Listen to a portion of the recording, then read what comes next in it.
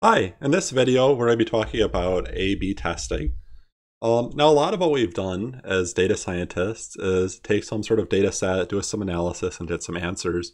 And, uh, and that's a big part of what data scientists do, and many of you may end up in jobs uh, doing that sort of thing. Um, but another piece to it is that maybe somebody has like a, a some sort of like website or business, and um, and they don't want you to just analyze the data, but they also want you to be actively involved in running these little miniature experiments and collecting data and, uh, and then kind of feeding that back and deciding what to do uh, in terms of business decisions or kind of new designs. And, and, so a lot of the things I'm going to talk today are actually from this keynote talk by uh, Ronny Kohavi um, that he gave at the Knowledge Discovering and Data Mining um, conference some years back in 2015. And uh, and Ronny, he works at uh, Microsoft on Bing. Bing is Microsoft search engine. And for a long time at Microsoft, there would be these kind of awards when you shipped your code. By shipping your code, it means that you kind of send it out to where a customer could see it. And eventually they realize this is not great. Uh, just shipping code is not necessarily success. We actually want to measure did we do what we were hoping to do? Uh, do we have a better product? And so this tweet here is what he's celebrating is that ShipIt awards are done and they're using this A B testing to gather evidence for um, you know whether or not they made a real improvement. So I want to think a little bit about experimental design in general before we talk about how we might uh, kind of optimize something like Bing. And and by the way, uh, maybe going back a minute, a lot of the examples I have here are kind of drawn from that talk that uh, that he had given, and you're welcome to go and watch the whole thing if you want. I think it's relatively uh, accessible. Okay, so so background on experimental design. Um, let's say you have a bunch of programmers and you're trying to figure out whether coffee improves their programming ability. So experimental design uh, is kind of describing, well, what process will we use to try to answer this question? And, and so let me give you an example of a design, not necessarily a good one, but we could try to do some sort of before and after uh, thing. We could take all of our people and um, and give them no coffee and ask them to do a programming project and measure on average how long it takes. So let's say it takes them um, 16 hours. Well, then we could erase all their code, uh, give them coffee and ask them to do it again, and well, maybe it's faster, or maybe it's eight hours. do you have any concerns about this? I, I think one of the big concerns here is, well, maybe it wasn't about the coffee, maybe they just got better uh, and more experience from kind of the first time until the second time. And so a common way people will do this in their experiments is they'll take their population of programmers and up front they'll divide them into two groups. They might call those groups the control group and the treatment group. And it's very important that you randomly assign people. Um, otherwise, maybe somehow you're assigning all the good programmers to the same group. So if you do this and you give the people in the treatment group coffee and don't give people in the control group anything, uh, well, then you can measure and see uh, what kind of difference you have. Maybe for the control group, it's 16.3 hours. And then for the treatment group, maybe it's 15.4 hours. A big question there is whether that difference is just about noise or it's actually uh, a kind of a meaningful, significant signal. signal.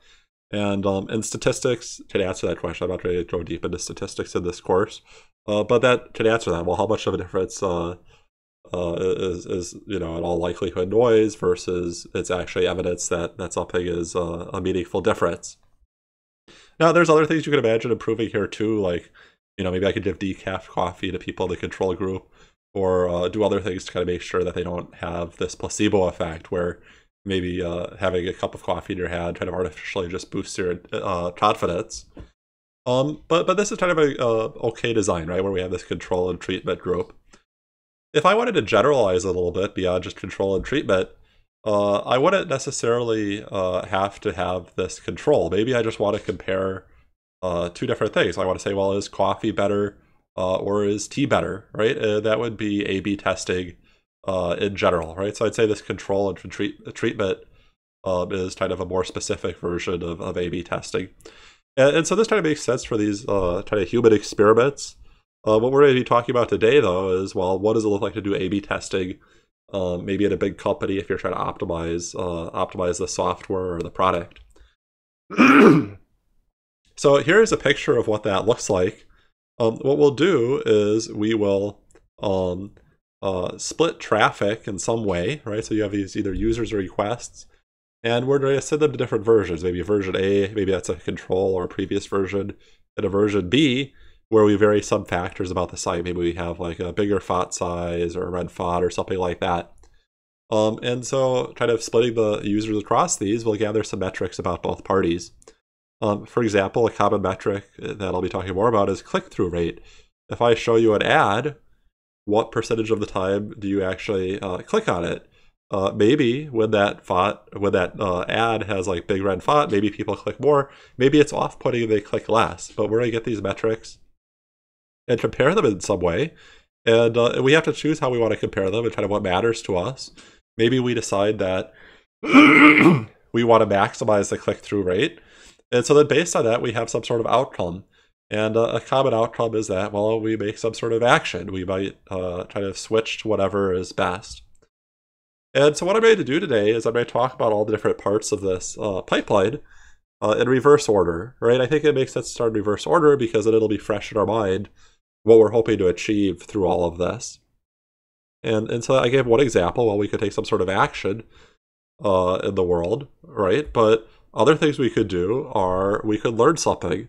And, and so I actually have a link here uh, to something I'll have in the reading, uh, which is kind of this, this notorious study that Facebook had done uh, what they did is they showed people in their news feeds either more positive or more negative content, and then they wanted to see whether that could control uh, how positive or negative people were when they made their own posts. And no surprise, right? If you're exposed to positivity, you become more positive, and if you're exposed to negativity, uh, you become uh, more negative. And so, from a learning perspective, this is uh, kind of cool, right? I mean, we we learned how people behave. But there's also huge ethical concerns here. And so that's one of the things I want you to think about through all of this, right? Are, are these measurements we're doing or kind of the way we're dividing people or what is the treatment? Um, are we doing it in an ethical way? Um, you know, if this had been a university doing this kind of experiment, they would have had to submit their proposal to the IRB, that Institutional Review Board. Uh, Facebook didn't have to do that in this case. Um, the other thing that you could do, uh, which is really not, it's hard to imagine eth- ethical concern here, uh, but say you want to upgrade um, from Python 3.7 to Python uh, 3.8. Um, now, ideally, that should have like no difference on anything, uh, but it's also possible that there's some bugs in your code that only really surface when you switch to Python 3.8. And, uh, and ideally, we would have written some sort of test that exposed that, but you know, it's hard to test everything. So what people often do in this case is that uh, they'll be running both at the same time. Some of the code is running on 3.7, some is running on 3.8, and then they'll compare. Uh, maybe when we switch to 3.8, some things break for, let's say, all the Internet Explorer users. And so if we do these comparisons, we can see, well, we actually are hurting the business in some way and say, hey, I don't want to do that yet. But of course, our assumption or kind of our expectation is that these would work out just the same. So let's talk about these comparisons. Uh, when I get the metrics from version A and B, how can I figure out if it's kind of different or not? And uh, and so here I'm going to give uh, one example of a metric. We'll be learning about others later. But I'm going to look at the click-through rate. And the click-through rate is, is pretty simple. It's, well, how many times did I show you something? And then how many times did you click on the thing I showed you, right? So it'll be some sort of percentage. And, uh, and so what I could do is I could put that all in a data frame like this. I could say for version A, how many clicked and how many didn't click, and then for version B, how many clicked and how many didn't click. And this is called a contingency table. Um, the breakdown here is contingent on what version um, I'm showing people. And so if I want to look at this, well, how many impressions uh, of B did I have? I guess I showed B 20 times, and they clicked six times. So I guess that is a rate of 30%. And uh, and I could actually just put this into pandas like this. I could say divide the clicks by uh, the sum of each row, and then I would get well, version A is fifteen percent and version B is thirty percent. And, and, so our big question there is, um, is that just noise, or is there probably actually some meaningful difference? And so we have to do some sort of statistical test. And I'm not trying to get into the statistics, but I'm going to get into how we can write code uh, to do that test. And, and so probably the easiest way is to use the stats module inside of SciPy. So SciPy is this package you could install like this, pip3 install uh, SciPy. And if you want to, you could take a data frame like this and feed it directly in to stats.fisher exact stats. And, and, yes, this is the Fisher uh, who's so famous from statistics. And so what this is going to do is it's going to uh, look at this table and it's going to return back a couple things. Uh, the only thing we really care about is the second value. You can see I'm ignoring the first one. And that second value is, is a p-value. And here I can see that my p-value is 0.188. And really, the, the stronger the evidence I have that A and B are different, the smaller this p-value um, is going to be. Okay? And so what is that? Uh, one way I could think about it is that the p-value is the probability that I would see a difference between these so extreme in the case that, well, there's the underlying process is the same, right? So, so let me try to rephrase that. Um, let's say that, for the sake of argument, that A and B are the same, and uh, but if I collect enough samples, right, eventually I might get some sort of result where the difference is this extreme. Uh, this p-value is telling me that, that I would only expect that to happen about 19% um, of the time. And, so in statistics, we have this idea of significance, and significance is really just in terms of the p-value. Um, we'll set some sort of threshold like 5% and say, well, if this is less than uh, 5%, we consider it a significant result. And uh, and well, this would not be significant, right? Because it's like 19% instead of 5%. But um, you know, even though this was a like kind of double the click through rate, you know, I don't have enough evidence because my sample were too small. If I want to get a better, um, I want to get a better uh, p-value, right? Kind of a stronger, smaller p-value, then I could have this kind of breakdown, but with more data. Or it's also possible that the data could be more extreme and that might show up. Now, we also have this notion of a false positive rate. And by the false positive rate is, is well, um, let's say there is no difference between A and B, um, either in terms of how people interact with it, or it could even mean that literally, uh, you know, what we're showing people for version A and B is identical. Um, false positive is, well, in this case where they're the same, um, how often do we have a significant result? You know, how often is a p-value less than uh, 5%? And, and so it turns out, just given the definition of this, the probability of seeing a difference um, if they're generated by the same underlying process, that's the definition for the p-value, and I have 5% here for my threshold.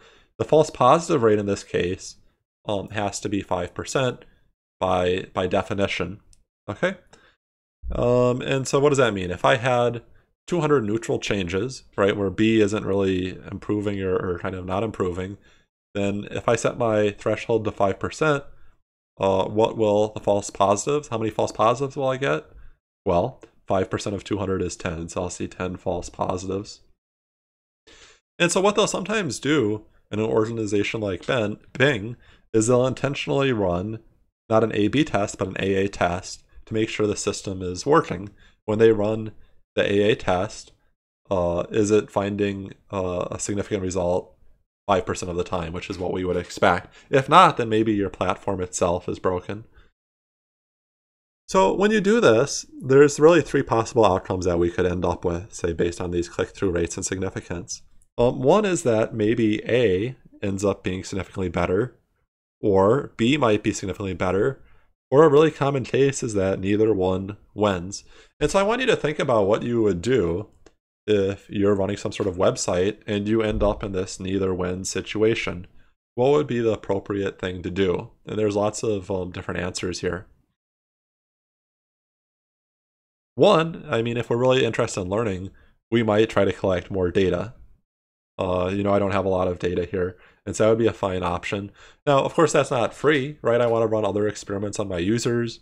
Um, there's a cost to doing an experiment in terms of, well, it might be uh, kind of breaking things. There's some complexity to it. Uh, but if I really want to know the answer, well, I'd probably collect more data. Um, you know, at the end of the day, I have to make a decision, right? If I'm on my website and I show people either version A or B, well, I can't wait until I have statistical evidence. I have to do something at any given point in time. Right? When a user comes to my website, I should show them something. So it would be fine to actually just, in this case, make a business decision, ignore the statistical significance, and just look at the click-through rate and just go with whatever is higher, even if it's not a statistically significant result. Um, there's other things that you could do. Um, one is that you could default to whatever version you were running before, right? It's pretty often that this is one we've had for a while, and B is something new we're um, considering as an alternative. That's not always the case. I mean, sometimes both of these are brand new, uh, but usually, you know, one is has some more uh, background, and so it'd be pretty reasonable to stick with that. I mean, it's familiar. There are probably fewer bugs involved. Um, in other cases, like let's say when I was talking about um, the Python version, well, we want to upgrade from Python 3.7 to 3.8, and we actually kind of expect that that won't affect anything. We expect that neither wins. So choosing a new version for B uh, makes a lot of sense in that situation. So, so Bing actually did this study where they uh, showed these two versions of the search page. And in general, when they're showing a search page, they want click-through rate. They want uh, some sort of indication that they're showing meaningful results. And, uh, and so I'm just curious, what do you think? Which version uh, of this website do you think people click on more? And it turns out that they click on this version more on the left, right? If there's underlines uh, for the hyperlinks, well, people like to click on that. And um, if you go to Bing now, you won't see this version, which is better in terms of the metric. You're going to see this version. And apparently, this is a big controversy in, in, in the company, right? Even though the data said that people click on this more, uh, I think a lot of the designers and, and maybe even just kind of, you know, probably you and I think this one looks nicer. And so there's this big conflict. Well, do we maximize click through rate or do we just do what looks nice? And uh, at the end of the day, they decided to do what looks nice. And that's what I encourage you to do too. Uh, metrics should inform humans, but not directly determine uh, decisions. Something like click through rate doesn't really do a very good job of capturing um, you know what these ugly underlines might do to Microsoft's brand in the long run, right? This feels sleek and modern, and uh, and that's what the kind of the image that Microsoft wants to uh, project. Okay, so I'll end it off there, and then you can do some examples, and then uh, we'll come back and, and talk more.